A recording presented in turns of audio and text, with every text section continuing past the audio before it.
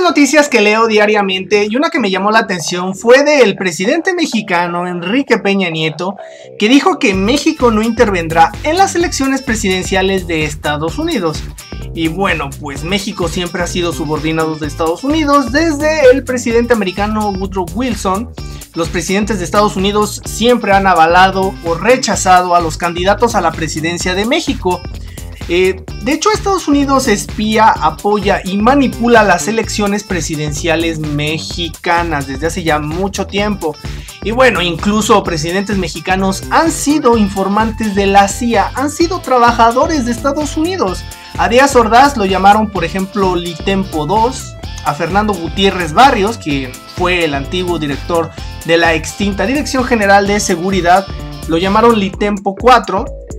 Y a Luis Echeverría, que también fue presidente mexicano, lo llamaron Litempo 8. Y bueno, dentro de sus acciones siempre fue la de informar a Estados Unidos sobre los grupos de izquierda que habían en México o grupos revolucionarios, eh, grupos tal vez comunistas. Bueno, a eso se dedicaban, ¿no? Los presidentes mexicanos, en lugar de estar pendientes de su pueblo, de su país. Retomando el tema, Enrique Peña Nieto y su gobierno corrupto y fragmentado no le preocupa a Estados Unidos. Me parece hasta estúpido comentar que México no va a intervenir en las elecciones de Estados Unidos, es obvio, eh, sobre todo cuando Estados Unidos te pone y apoya a tu gobierno.